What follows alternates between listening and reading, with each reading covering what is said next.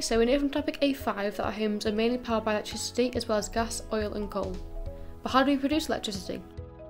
The answer lies beneath the ground in fossil fuels. Oil, coal and gas are extracted from under the sea and under the ground and are burnt to produce energy which powers electric generators.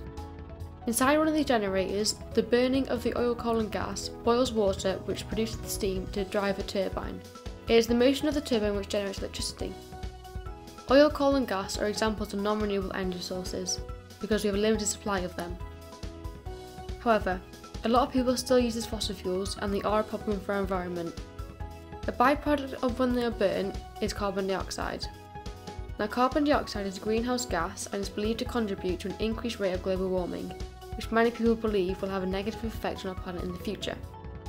This is a very serious situation, but carbon capture and storage, CCS, helps reduce the emissions by capturing carbon and storing it in old oil and gas fields. Another negative effect is that burning fossil fuels produces sulfur dioxide. This chemical rises into the atmosphere and reacts with the rain clouds, which produces acid rain when they fall. Acid rain can seriously affect ecosystems by changing the pH of ponds and rivers. However, these sulfur impurities can be removed before burning. Besides the negative effects, the main issue with non-renewable energy sources is that they will run out. And then what? Now with that covered, we move on to nuclear power. You should know from your chemistry lessons that every atom is a positively charged nucleus with surrounding negatively charged electrons. In nuclear power stations, the nuclei used is uranium or plutonium. Uranium is mainly used because its nucleus is very unstable and splits apart, giving out energy. Nuclear fuel uses energy in the core of a reactor to heat up a liquid called the coolant. The coolant flows out of the core by pipes through a heat exchanger and then flows back into the reactor. The energy transferred by the coolant boils water which produces steam and turns a turbine, generating electricity. Nuclear energy produces 10,000 more times energy per kilogram than a fossil fuel. Another major advantage is that there are no greenhouse gases produced.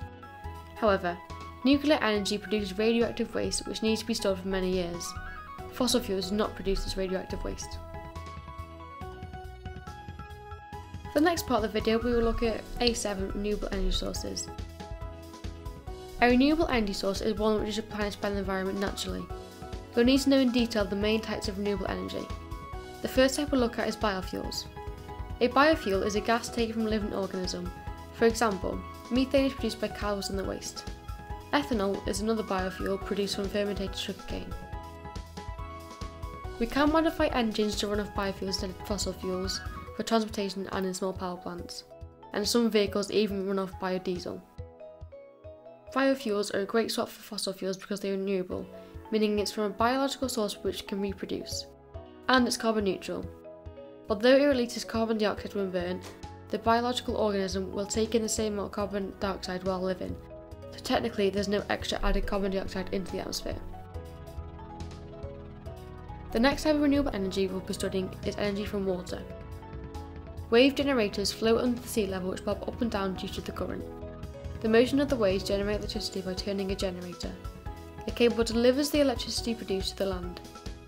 Issues with this method are the generators need to be strong enough to withstand storms and the cables from buildings along the coastlines are an eyesore. Tidal patterns may also be inconsistent. Tidal power differs from wave generators because the tidal power stations trap water behind a barrier.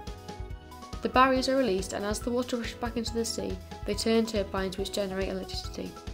The electricity is taken to the national grid through underground cables. These barriers will upset natural habitats and the creatures living there, and again are an eyesore. Hydroelectric power produces electricity when rainwater reservoirs and storage schemes let water they've collected run downhill, turning turbines and generating electricity. A lot of water is needed to produce sufficient energy. Often reservoirs can become dry as well. Now, we've all seen a wind turbine in our lives. They work by the wind turning the turbine which turns a generator producing electricity. The stronger the winds, the faster the blade turn, so the more energy is produced. Because of this, they can be no good when little or no wind is in the air.